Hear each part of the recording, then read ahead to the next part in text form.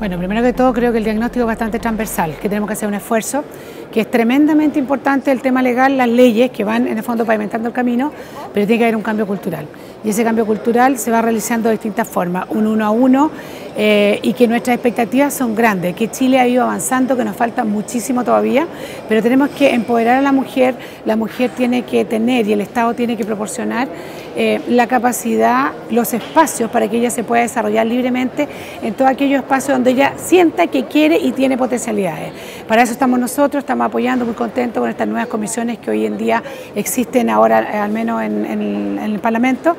y para eso estamos, porque los problemas de las mujeres, en definitiva, deberían terminar si hay más mujeres en el poder, porque nos vamos a preocupar más de nuestro género, de la realidad que hoy día, sobre todo vive la mujer en Chile, que lo vemos en las distintas encuestas, es la más pobre, es la que menos participa en política, es la que está en menos lugares de decisión, tenemos un 7% solo de mujeres en directorios de empresas, es un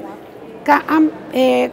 es un ámbito muy, muy grande donde el cual tenemos que trabajar, pero ahí para eso estamos nosotros a través de las leyes, pero aquí tenemos un cambio cultural, porque el machismo es una cosa que está tremendamente arraigada y sobre todo en las mujeres.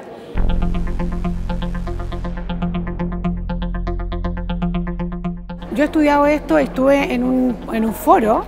de mujeres líderes del mundo, tuvimos todas las congresistas y hay congresos donde se preocupa y existe una cosa que se llama gender, gender sensitive, que todo se ve desde el género, incluso por ejemplo los horarios que se dan, para que en este caso hombres y mujeres, pero especialmente mujeres, puedan realizar, por ejemplo, su vida como madre. Yo creo que lo que tenemos que cambiar no puede ser que uno termine a las nueve y media de la noche, por ejemplo, una comisión, porque sencillamente no resulta y destruye los otros proyectos de vida que tan válidamente puede tener una mujer o un hombre. Entonces, de alguna forma ya parlamentos ya lo han hecho donde meten esta mentalidad de género en todas las decisiones de horarios, de temas que se van eh, haciendo. Yo conozco aquí que en el Parlamento hay una diputada que tiene niño chico y le pide permiso a la comisión para irse un poco antes. Esa cosa debe estar prevista de antemano, porque todos tenemos familia, hombres y mujeres tenemos otros proyectos también que realizar.